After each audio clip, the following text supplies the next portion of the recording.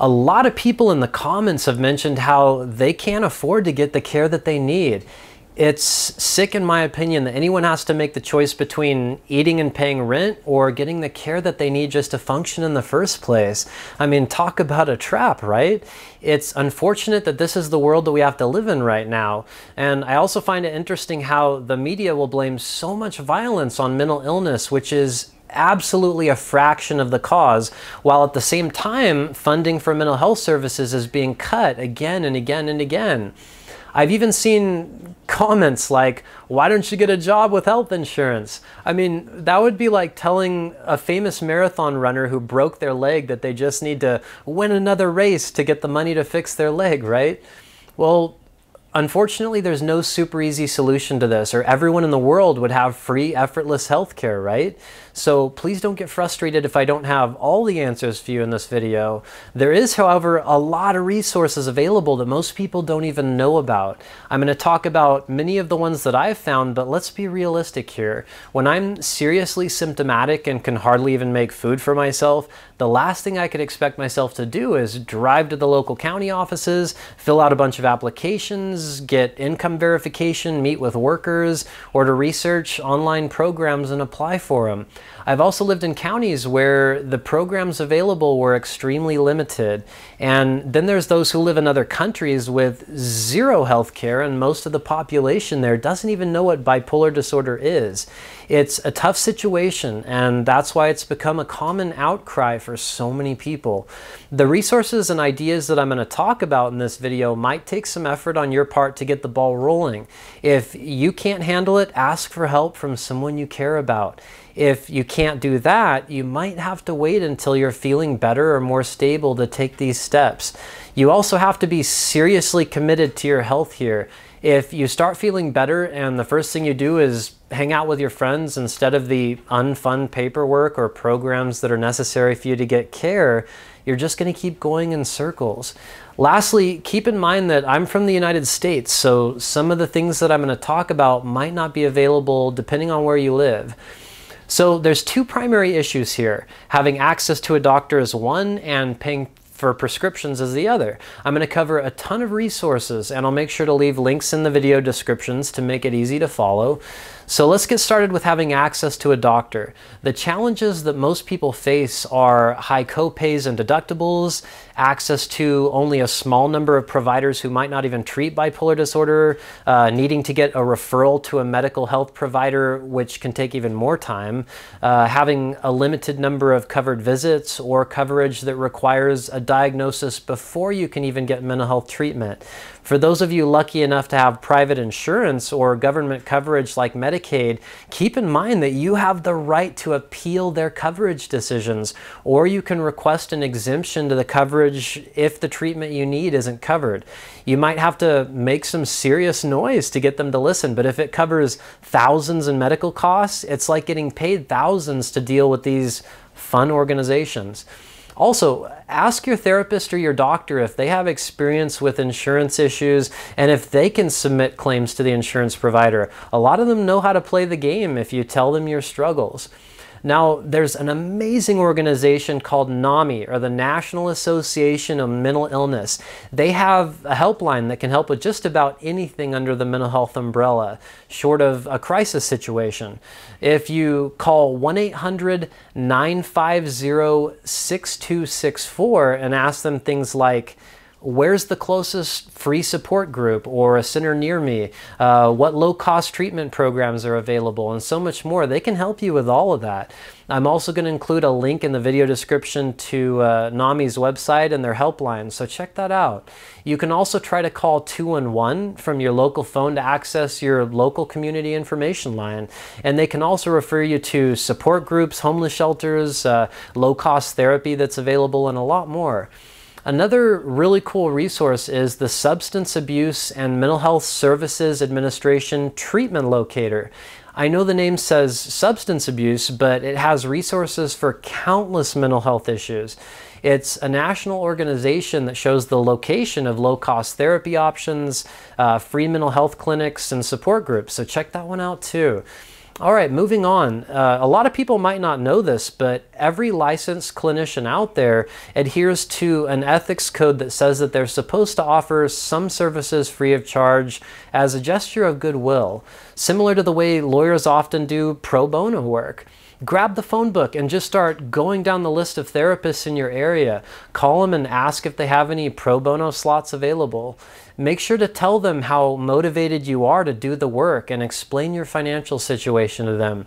It might take time to find one that says yes, but that could be a life changing turning point for you if you do find one. There's also an organization and website called Give an Hour that works with doctors and grants to provide volunteer services. They have literally donated hundreds of thousands of hours to those in need, which is just amazing. Check out giveanhour.org to see if they can do something for you.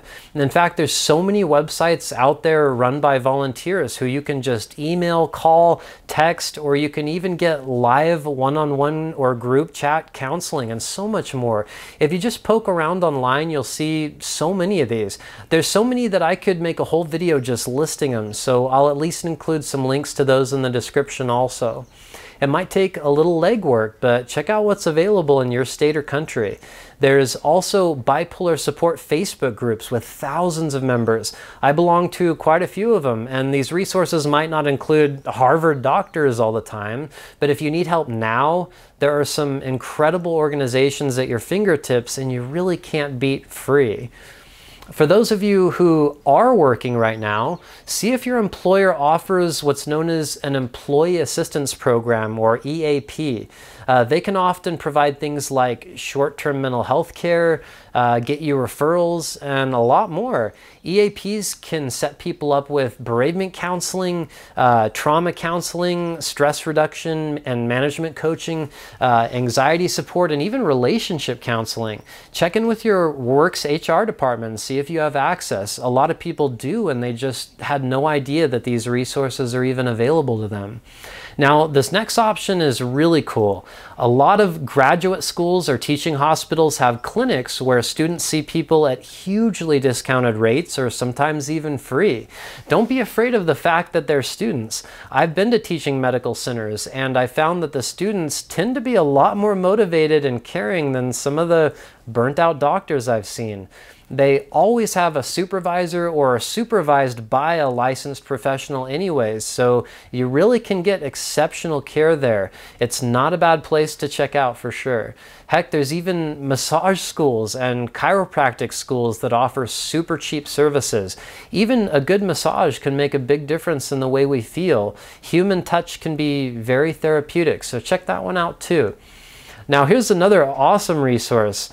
I have a few friends that are taking classes like photography or music at a junior college because they qualify for free education with low income.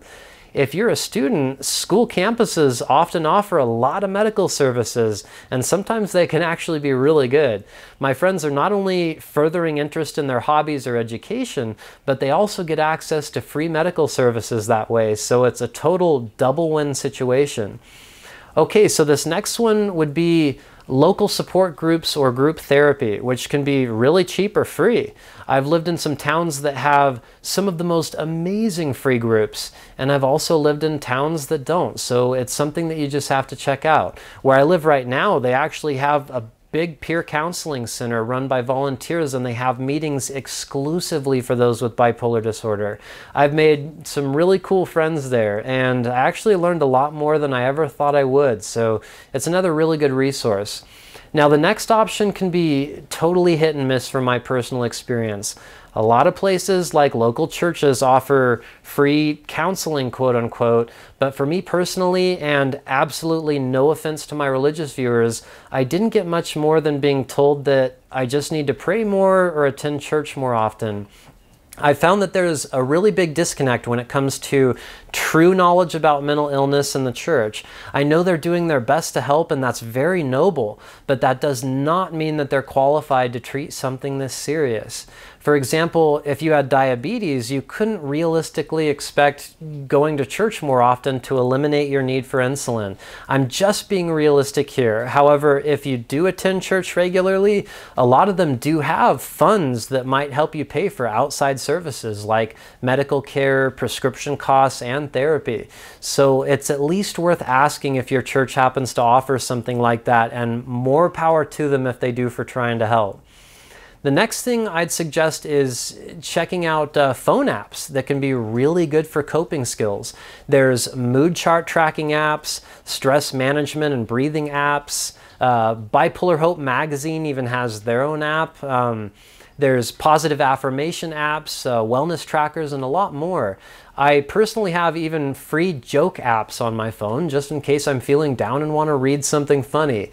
Apps are far from a replacement for professional care, but nevertheless, it's at least another resource or tool to help if you haven't considered that yet. There's also some amazing podcasts about bipolar, depression, anxiety, and even counseling that have taught me an unbelievable amount of information. In fact, I fall asleep listening to them all the time. So if you have a smartphone, turn it into a free mental health tool. So next I want to talk about something that I had to examine in my own life. And it comes down to priorities and hard responsible choices. There are so many people watching this video right now, and I'm no stranger to this, who spend enough money on Starbucks, nicotine, alcohol, eating out, and other things that would easily cover the cost of a doctor or a therapist visit each month. Just take a look at your bank statement and add them all up. I did that and it was shocking. You might even feel a little upset that I even pointed this out. I get it. I'm a little stubborn when it comes to my morning coffee, but if it meant the difference between my mental health and drinking expensive coffee, well, we all know the right choice here it comes down to getting sick enough of the suffering to make some hard choices and give up some of the temporary small comforts that we have. I'd say it's a very worthy sacrifice to enhance the quality of the rest of your entire life. If you don't think that you're worth it, then do it for your spouse or your kids or those that you care about that have to be around you. The next time you're sliding your debit card at the local convenience store, try to remember this one. All right, so on to the next tip. And although this is a simple one, it's where I've personally learned more than almost any single source ever. Now, bear with me here. When people hear the word self help, it can be so off putting. If we're sick, how in the heck are we supposed to just help ourselves, right? Here's the thing though, some of the best bipolar specialists in the world who cost an arm and a leg to access have put all of their best stuff into one place. The best part is that you can access all of it for about the price of a couple of fast food meals. I'm talking about self-help and bipolar treatment books. Now, I'm not a huge reader, and when I'm symptomatic, the last thing that I can do is read a 500 page book or some crazy long article. I mean, there's no way. I have about 10 unfinished books next to my bed right now. And that's probably one of the reasons why my videos are so popular is that people can just lay in bed and listen to them. If you aren't much of a reader like myself, check out all of the cheap audiobooks or podcasts about bipolar disorder out there. I know you can have you can't have a conversation with the author like a therapist, but these experts have spent months or even years carefully putting together their best advice into one affordable place. If you can get 10 hours of expert advice read to you for 10 bucks, that sounds like a pretty darn good good deal to me. Now, if you'd rather lay in bed watching the news or playing video games before you go to bed instead of spending just an hour working on your mental well-being, that means you're normal. Uh, of course, people are drawn more to distractions than facing their deepest problems. Again, it comes down to your desire and commitment to not suffer like this. Distractions are only going to prolong the inevitable, which is more suffering. This video is getting a little long, so the last thing that I want to talk about is for those who have lost their job or can't work and are at their absolute wits end and can't even function enough to take care of their most basic needs. This would be applying for SSI, Medicare, or disability. Many countries have a system or a program like this. Most people have paid into SSI or disability their entire lives. It's taken right out of our paychecks and that of others to help in situations exactly like this. For many, it's a right, not so much a privilege because they've paid for it. The money's there. I know some people have emotional hurdles associated with the idea of being, quote, disabled, but it doesn't even have to be forever. You can stay on it long enough to get the care you need or indefinitely. I'll dedicate an entire video eventually to talking about the whole process, but here's the highlights. If you're working, it can be almost impossible to be approved for disability because it's to help those who can't work. I know that sounds like a trap, but if you can ask help from family or friends or a spouse or someone to support you while you aren't working and go through the application process, it could change or save your life. Depending on how much you've worked in your life, the benefits could easily pay for rent and groceries. You'll also have access to all the medical care that you need once you're approved. It's really common for people to be denied their first, second, third, or multiple times when they apply this is kind of the government's way of weeding out those who really need it. So don't quit. Your health and life is totally worth it. You also don't need to pay some fancy attorney to help you either. Sure, they might be able to help expedite the process a little bit, but the decision isn't based on an attorney having their name on the paperwork. It's based on documentation from medical professionals. The best thing that you could do is to have a well-documented medical history that clearly shows why you can't function in a normal job. Get a diagnosis. Uh, if you're dangerously sick, go to the hospital. Get a copy and keep records of every medical issue or experience that you have. Document how much work you've missed and why. Uh, get a letter from ex-employers if you have to. If you aren't up to the task, ask someone that you care about to help you with the application process. Did you know that once you get approved, you can get help with financial aid to go back to school? Or did you know that you can still work part-time without it affecting your benefits once you're approved and ready to ease back into the workforce? This is a really important resource. So like I said, I'll discuss a lot more about this one in a dedicated video in the future. If you have any questions, comments, or would like to connect with me personally, I've got a really cool way that you can do this. There's going to be a link at the very top of this video description that'll show you how to become a Polar Warrior patron. My patrons will always get a response back to questions, uh, get access to extra videos that are not available on this channel. They can find out what videos are coming out next on YouTube, join live video feeds where they can ask whatever they like, uh, help decide topics for future videos, and so much more. If you want to take your Polar Warrior experience to the next level, this is the best way that you can do this. All right, I have covered a lot of information here and it took quite a bit of time to put all this together. I'm gonna make another video that talks about creative ways to afford medications next. It would just be way too much to have both topics covered in the same video. I hope this saves you some time researching and more importantly, I hope it gets you some of the care that you deserve. Stay well, thank you so much for supporting my channel by watching and lots more videos to come on Polar Warriors. See you soon.